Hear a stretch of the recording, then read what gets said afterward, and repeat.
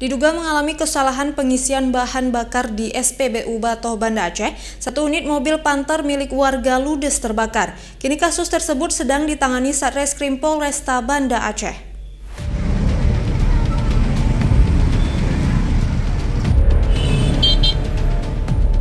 Beginilah detik-detik satu unit mobil kijang milik warga saat dilalap si jago merah saat sedang melakukan pengisian bahan bakar di SPBU Bato, Kecamatan Lungbata, Banda Aceh.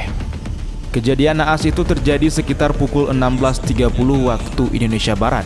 Berawal dari kesalahan pihak operator SPBU yang salah mengisi bahan bakar, di mana mobil tersebut hendak mengisi diesel, namun operator mengisi pertalite.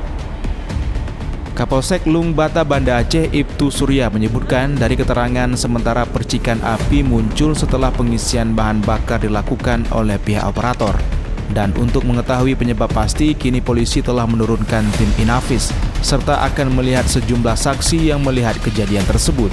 Dan setelah pengisian itu, dari uh, setengah pengisian dihentikan langsung didorong mobilnya untuk dikosongkan tangkinya pada saat eh, pengosongan tinggi dari pihak operator menyampaikan uh, untuk dikosongkan oleh uh, operator uh, SPBU. Namun dari pihak pemilik mobil tidak mau. Ianya ingin mengosongkan minyak dimaksud uh, dengan sendiri sehingga pada saat pengosongan dengan pipa pompa dalamnya terjadi percikan api. Peristiwa terbakarnya mobil di komplek SPBU Batoh itu sontak menghebohkan pelintas dan jejaring media sosial di Aceh. Dari Banda Aceh, Sukri Syarifudin, iNews melaporkan.